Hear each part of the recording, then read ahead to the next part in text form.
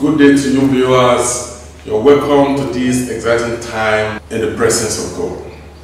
I know that you are aware of topics we have been talking about for some times now, which is poverty of the riches.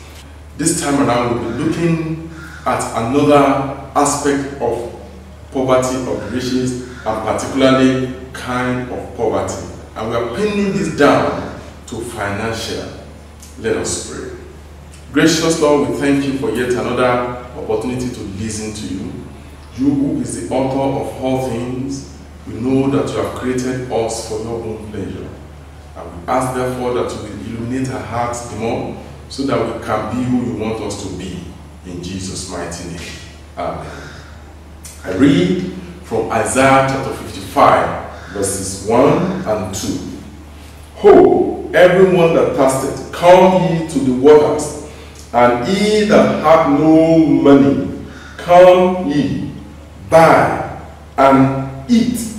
Yea, come, buy wine and milk, without money and without price. Wherefore, do ye spend money for that which is not bread, and your labor for that which satisfieth not?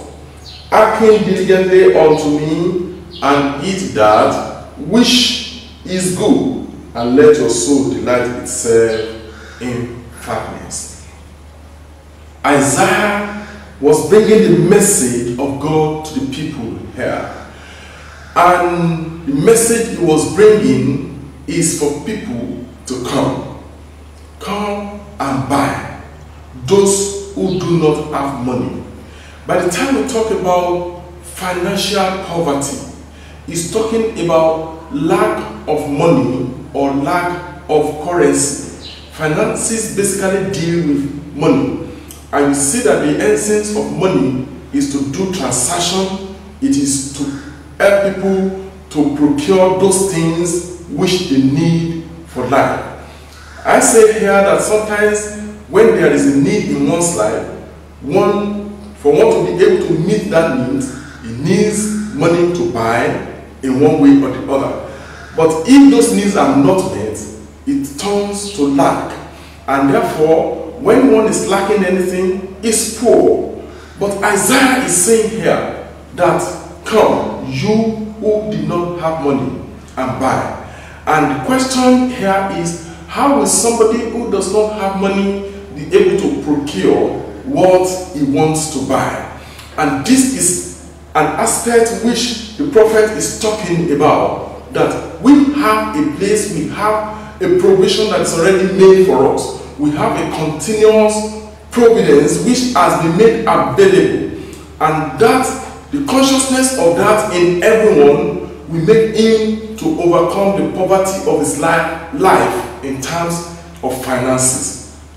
I say here, people of God, that we have a lot of people who even have money yet, they are still lacking those things which they need. In, in other words, they are slaves to money. And he was able to say there in verse 2 that, Wherefore do ye spend money for that which is not bread? In other words, they have money, yet they are still suffering from those things which money is supposed to make available for them. It is my prayer that we never be slaves to money and we will never be poor even when we are rich in the name of Jesus. The attention which have been drawn to here is that Christ is our sufficiency. He has made all things available and is asking us to come. With or without those things in our hand, we can always come to Him and make those things available.